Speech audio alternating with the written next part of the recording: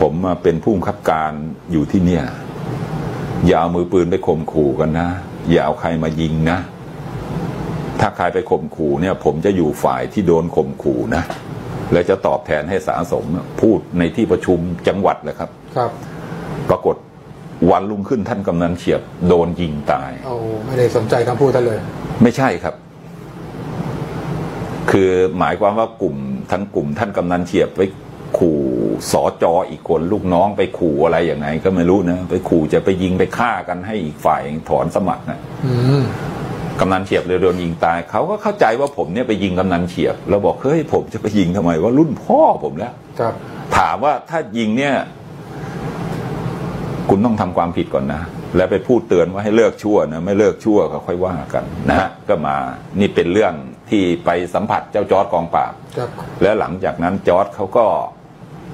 มาโดนคนอายุเจ็ดสิบหกนะครับลุงอะไรก็ไม่รู้ยิงลงทุนลุงทุม เพราะลุงทุมแค้นว่าจอร์ดให้ลุงน้องไปยิงหลานเขาครับและจอร์ดก็บอกไม่รู้เรื่องไปงานศพ เขาก็เลยยิงครับนะฮะก็คือกติกาท่านคือ จะมีใบเหลืองที่หนึ่งก่อนตักเตือนไม่ผมจะบอกครับครับผมจะบอก แล้วเดี๋ยวจะเล่าไปเรื่องคดีในทะเลสดสีเนี่ยแม้แต่มือปืนจะมายิงผมเนี่ยผมยังไม่ทำมันเลย เพราะมัน ค้นแล้วมันไม่มีปืนน่ะเดี๋ยวน้องถามไปก็เล่า ค่อยๆเล่าไปครับเดี๋ยวมันจะ